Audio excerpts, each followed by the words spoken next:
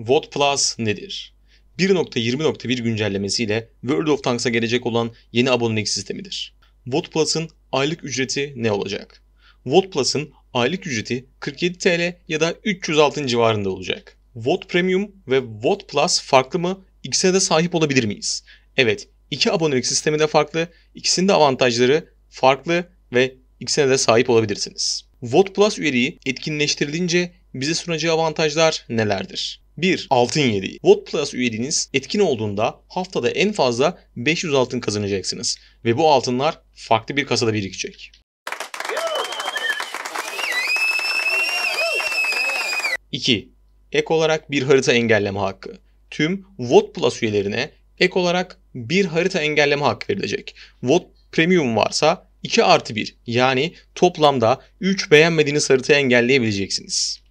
3. Ücretsiz donanım sökme. Her türden donanımı ücretsiz olarak sökebileceksiniz. Tahvil, altın ya da sökme kiti olmaksızın. Deneysel donanımlarda 2 ve 3. yükseltme seviyelerindeki deneysel donanımlar hariç. O bu sınıfa dahil değildir ki bilmiyorum kaç kişi deneysel donanım kullanıyor. 4. Yoğun mürettebat programı. Bir araç ve tüm mürettebatları dahil olmak şartıyla çevrim içi, çevrim dışı, garajda, savaşta olmasına bakılmaksızın her bir mürettebat üyesine pasif olarak ek mürettebat deneyimi verilecek.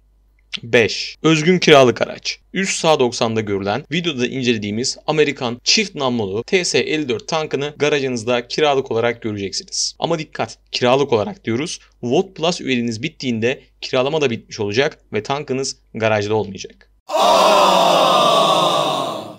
Evet VOD Plus budur. Alır mıyım, almaz mıyım bilemiyorum. Sizler yorumlara ne düşündüğünüzü yazabilirsiniz. Beni burada en fazla ilgilendiren nokta ve en fazla ilgimi çeken nokta açıkçası ücretsiz donanım sökme kiti oldu. Çünkü tahvilin anlamı çok fazla kalmayacak gibi geliyor bana. Bakalım neler göreceğiz.